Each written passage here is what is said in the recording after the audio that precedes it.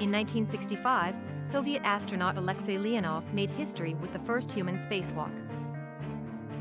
Strapped to his spacecraft, Leonov ventured into the unknown, taking humanity to new heights. The world watched in awe as Leonov gracefully floated in the vast expanse of space, a pioneer of exploration.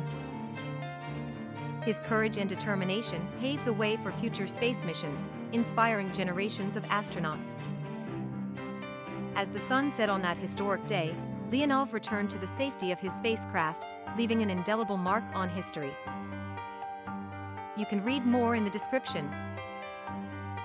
Please like, subscribe and stay tuned for more mind-blowing insights into the universe. Until next time, keep looking up.